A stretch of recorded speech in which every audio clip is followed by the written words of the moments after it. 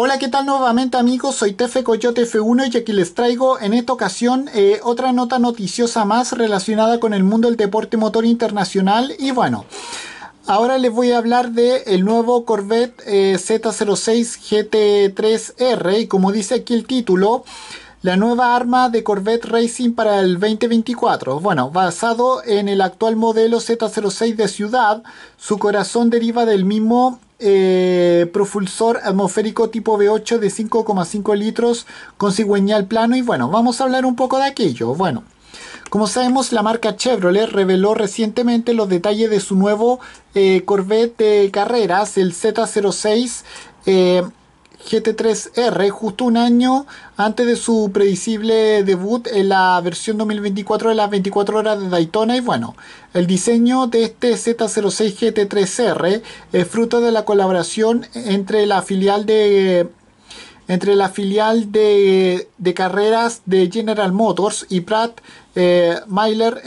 Engineering, la misma eh, empresa que viene creando desde hace diversas generaciones los Corvettes de de competición oficiales y bueno, ahora que la categoría GTLM ya es historia, eh, Corvette Racing eh, se sumará a los GT3 dentro de la GT Daytona, o sea la GTD, para la versión 2024 de eh, la categoría IMSA y bueno,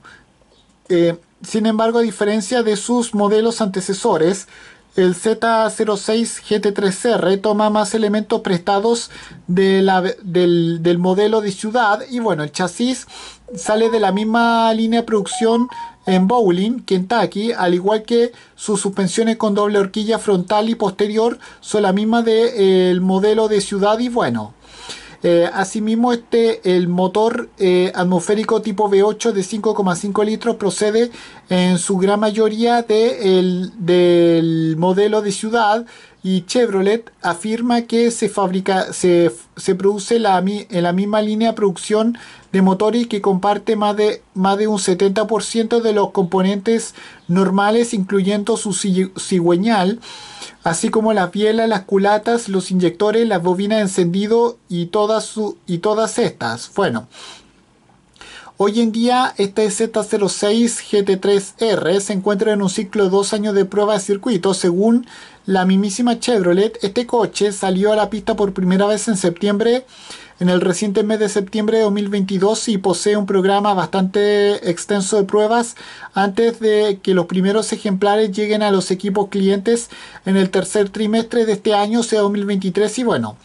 La marca automotriz multinacional estadounidense eh, tiene previsto extender su programa Carreras Cliente para garantizar el soporte en 2024 a los equipos estadounidenses cubriendo desde los, productos de recambio y el combustible hasta las estrategias de, de carrera los principales eventos. Y bueno, los equipos internacionales recibirán un poco después también un apoyo similar. Y bueno, con esto me despido, adiós, como fuera, chao.